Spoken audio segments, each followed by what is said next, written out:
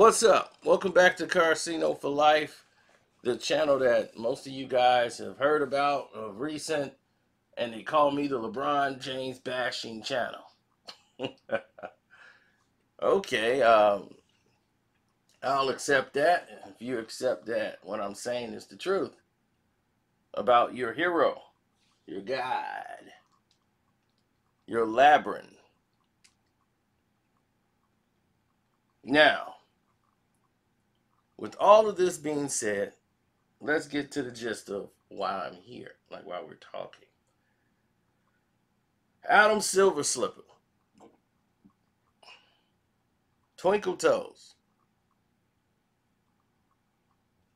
his evil plan that he hatched up, his storyline that he wrote up, he just saw it play on out in front of the whole world. Well, Adam Silver Slipper, here we are. Me and you, face to face. Once again. And we got to go over it. Because your evil conspiracy has come to light yet again.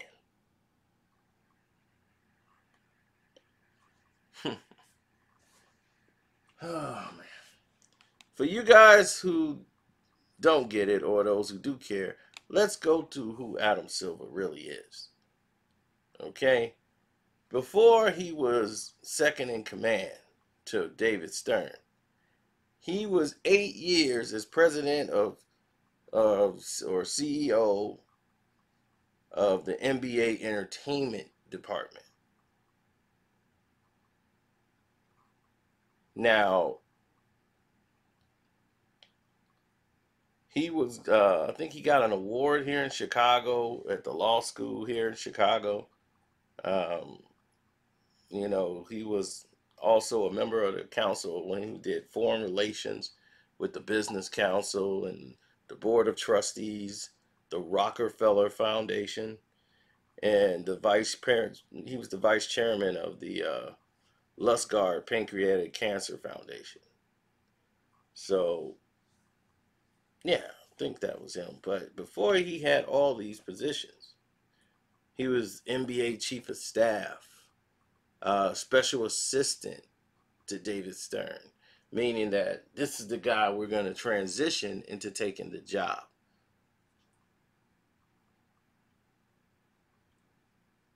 Now, he came in the league in 1992. Michael Jordan. That's right. Adam Silver Slipper has been with the NBA since 1992. In case you're wondering, he still looked like a malnutrition uh, cancer patient. Um, Adam Silver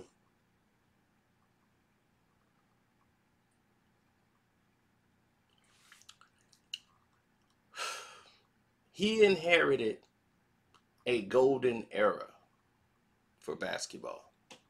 He saw the marketing boom come right in with Michael Jordan.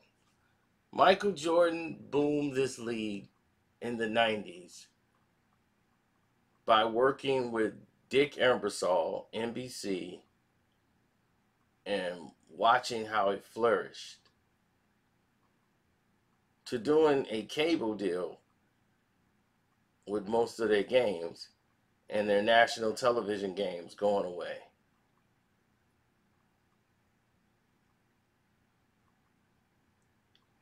When the NBA contract was up for renegotiations, ABC came along, and so did ESPN. The entertainment department. What what does that department do, you might say? The entertainment department, meaning that they come up with events, they come up with these sideshow NBA cares, NBA you know, NBA Watch, NBA, you know, We'll Walk Your Dog, anything that gets on television. You know, We Care, NBA We Care, you know, all of those things there to promote the league. That was his job. And they assumed he did a very good job because once LeBron James came in there, they create narratives. It's like a soap opera. They'll create a narrative that wasn't even there before and try to make it a storyline. For the NBA Finals, LeBron James playing against his old team and Pat Riley and his beef with the Los Angeles Lakers and his disdain for the Lakers for the way they treat. They create this. The whole storyline LeBron James, 17 years in the league, at 35, could he still win a championship? It's like, really? Then you watch this play out the way it did, and it's like, oh man, this is bad, you know? And I was like, man, the Clippers are a better team, but they've lost so much money, they can't help but to stick that guy in the NBA Finals. They have no choice. They have no choice but to stick him in the NBA Finals. They lost too much money. The NBA is a business. You gotta understand. It's a business, and they all their marketing dollars goes towards LeBron. They've been marketing him and milking that horse before he came to the league.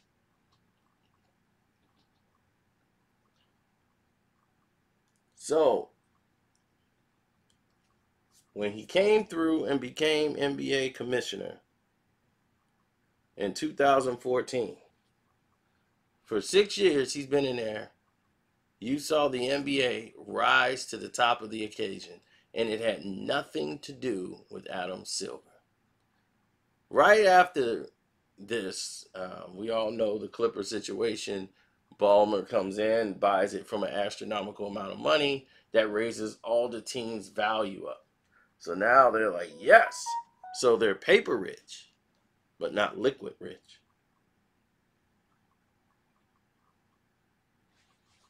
The problem with the league is what's always been the problem with the league. You're not promoting your talent, you're promoting individuality too much, and you're forgetting about team. And when you do that, you forget about the essence of the game. And to someone who's in entertainment and marketing, they don't care about the game. They don't know anything about it. All they know is how to market it. And that's what they're good at. That's their expertise. You know, a guy like Adam Silver is not supposed to be the commissioner. A guy like him is supposed to be, you know, president and CEO of the entertainment division. It's not a guy that's going to, you got to know something about the game. You got to know it. So you could appreciate it enough not to try to screw it up. Not to say David Stern didn't try to make changes because they wanted to increase the scoring in the league. Because when Michael Jordan left, it was so abruptly, they didn't groom up the next talent. Shaq was supposed to be that, but he wasn't ready. He was too immature, they thought, to lead the way. So they used him to market to kids in Orlando, which was going to be their booming business, as you can see now, this Walt Disney Championship you see today.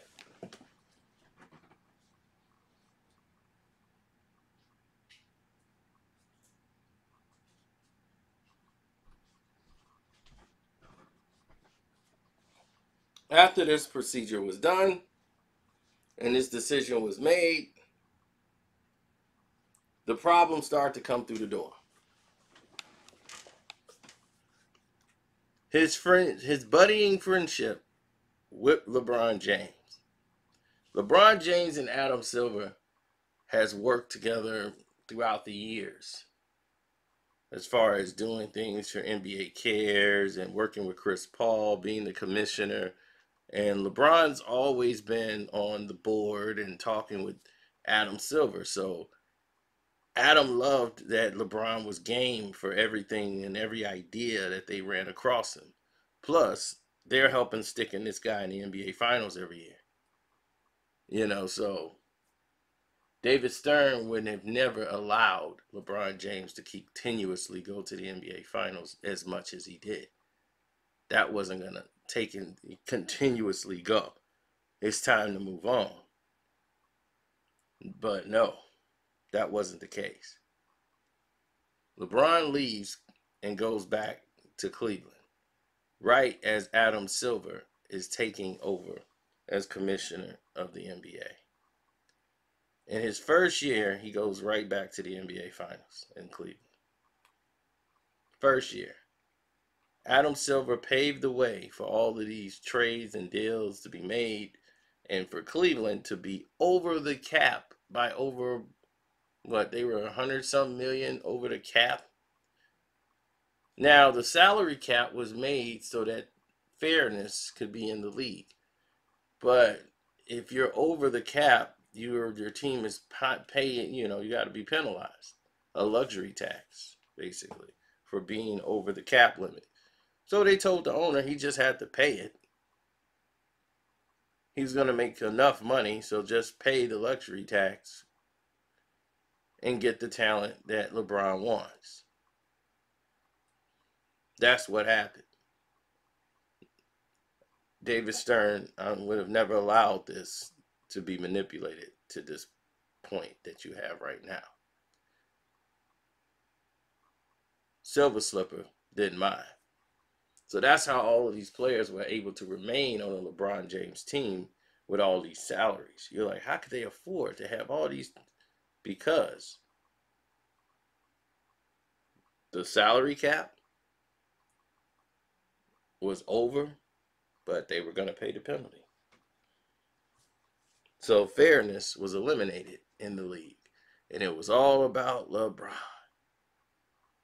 We got to keep sending LeBron. He's the greatest thing we have until he gets tired or is not, you know, at a position where we can't sell it. We have to keep pushing LeBron.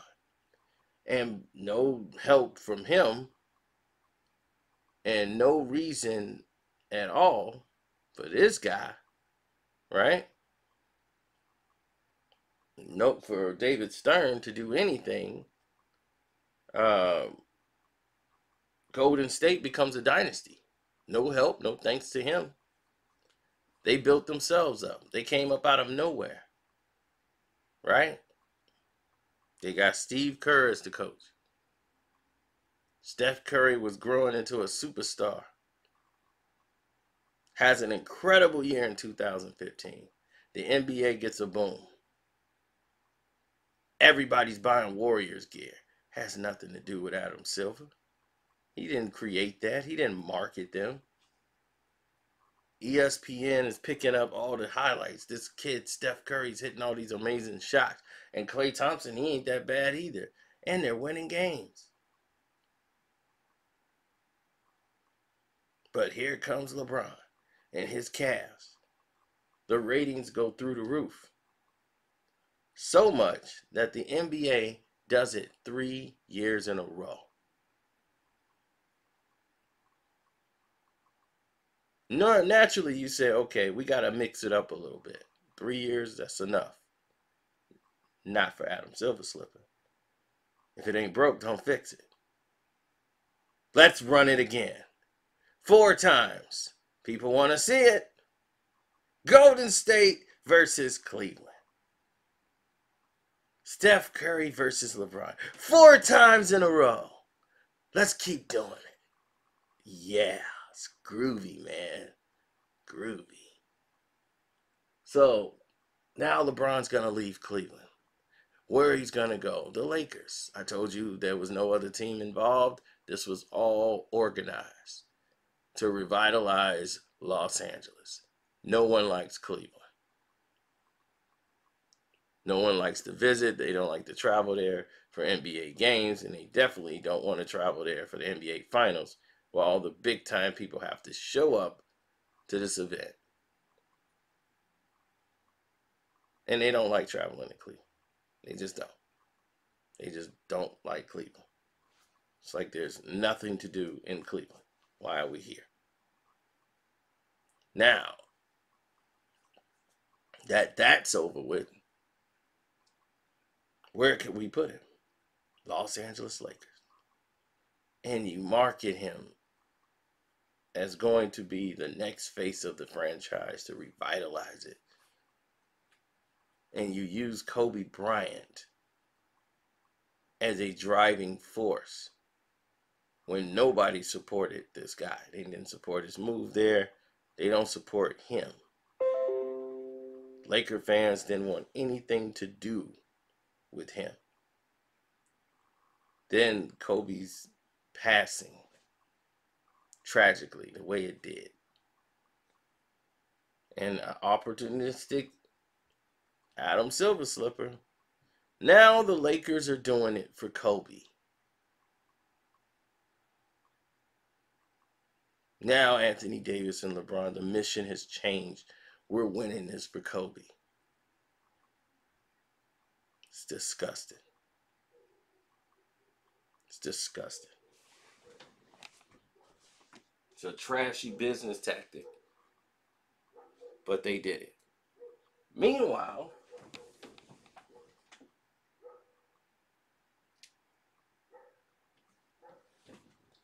let's look at what's really going down.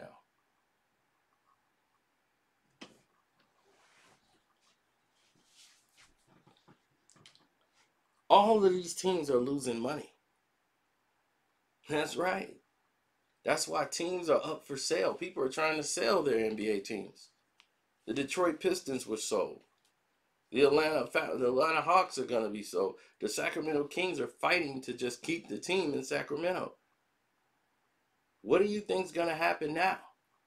When these teams were solely driven on their audience base, that was their revenue. People actually buying tickets to come see the games because they're not on national television. They don't get a lot of national televised games.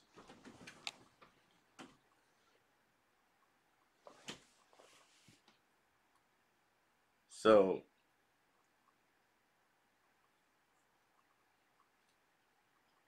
What's next? Hmm? What's next on the menu? The league is hemorrhaging cash. But they do a new exclusive deal with ESPN. Right? Based on based on the finals numbers that they did with Golden State and the Lakers and the new owners reelect him unanimously so he can keep his job based on the numbers that were inflated by Ballmer.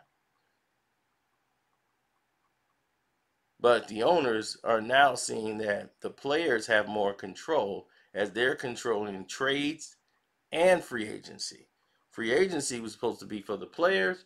Trades, well, that's the owner's job. They could trade a player if they could legally trade him. Now they can't. Players like, look, if you trade me there, I'm leaving when my contract's up. So I'm I'm just letting them know if you trade me, that's what's gonna happen. So now they're eliminating the no trade clause. So people want to tell teams where they want to be traded. And they want to have free agency too. So they the owners get no control of their own players.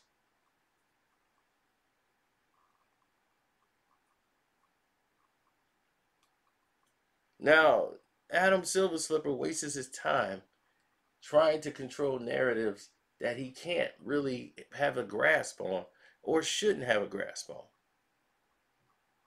He wants to control the narrative of being called an owner. We shouldn't even call them owners because, you know, they're, they're not slaves or anything like that. We got to call them like governors or something. You know, because they're governing their teams. No, they bought it, they own it.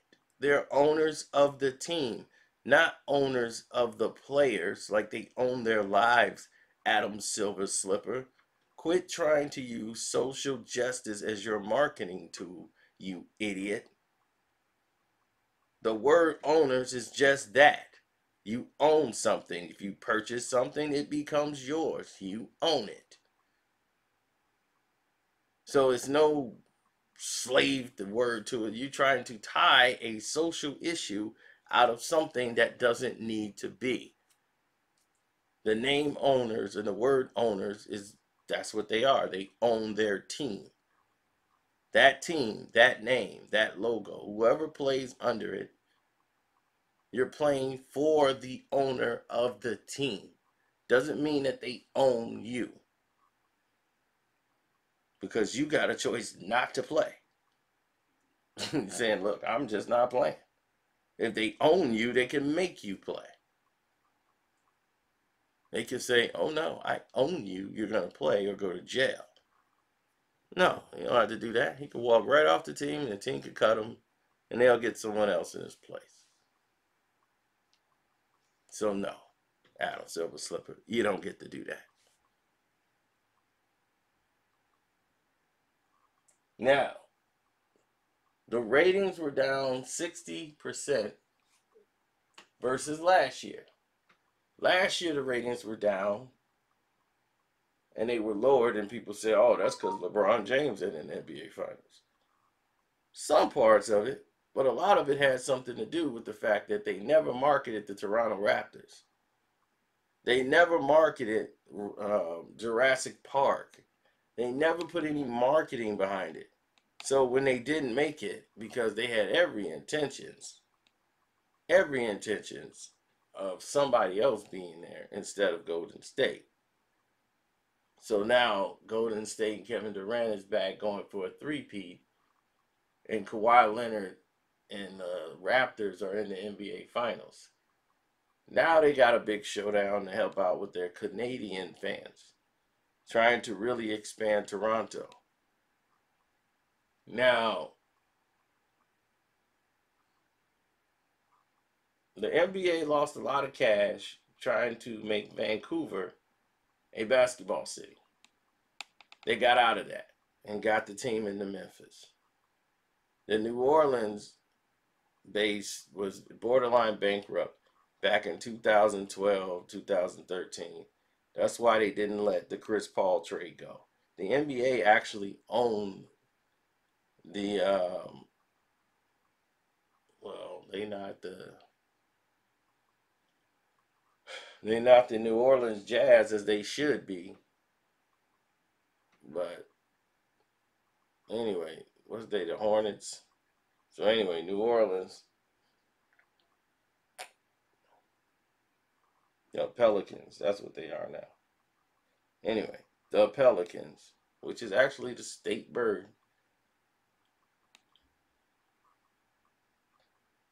Anyway, the Pelicans, right?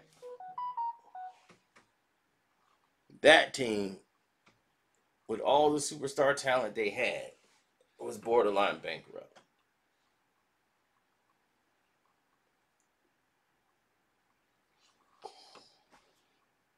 But they had all these superstar teams on there. And they're they're barely breaking even every year if that. A lot of teams like the Pistons are losing money. And now the ratings are going down. And people's like, it's because of the social justice. Well, the NBA is a team, just like many, that needed some fans, some type of revenue coming in. The NFL wasn't going to do that. Every team, you know, not going to have fans crap. They can do that. It's going to be partial fans somewhere. You know, people are not going to subscribe to that. The NBA, they just couldn't risk it. And now, with all this flourishing talent, does Adam Silver know what to do with it? I doubt it. Because he doesn't understand the game of basketball. He only understands marketing and promotion. We're going to promote in India. We're going to make basketball tournaments, NBA tournaments, little mini tournaments. We're going to change it. This guy changed the All Star game. The East and West, all the legacy, the history of the East versus the West, that's all destroyed now. All destroyed. So we can have Team LeBron. versus Team Steph Curry and Team whoever else. But we got to have Team LeBron. It's disgusting. It's just totally disgusting. But you co sign it. You co sign this behavior. And I'm done being an audience to the behavior. Yep. So only when like the Clippers, Brooklyn, they show up to play against the bomb from Akron, then you know I'll watch it. But other than that, it's like now it's been exposed. This finals exposed everything. Everything we said came true. They did it. They they laid out a plan, a formula, and ran the formula train all the way down the track. Let's not forget YouTube. Our dear beloved YouTube. Oh, yes, YouTube. YouTube got involved and decided hey, you know what would be a great idea? If we do this deal with YouTube, they're the growing sensation. You know how many people are on YouTube? All these million of followers. Now imagine if we could just show the games there. We could do this deal with YouTube. It's gonna grow our fan base tremendously. Oh boy, Adam Silver Slipper. you just don't get it. So you guys been wondering why my videos sometimes just stop, why they don't do what they're supposed to do, and I have all this interference. It's mainly because the NBA and YouTube I have a partnership. And I don't fit the agenda. I'm going against the agenda. So you can't have a person that's going against the agenda actually making sense and talking about the situation at hand. Can't have that. We got to silence that guy and promote the guy that's going with our positives and going in our angles. That's not going to tell people what's really going on. But give them our butterfly truth that we're feeding them. Eat Jiffy snacks. Then everybody, mmm, new video about Jiffy snacks. Man, they're healthy, they're good for you. Come on. I'm not gonna do that with the little cheesy music in the back. No, can't do it. It's not my style. So anyway, don't forget to like this video. Hit that notification bell, select all, and we will get back to you directly. I got things to do. I'm quite sure y'all got things to do. Just wanted to kind of go over and let y'all know, you know, what y'all dealing with with this Adam Silver slipper. In case you guys didn't know. And yeah, LeBron lose chips all the time, B.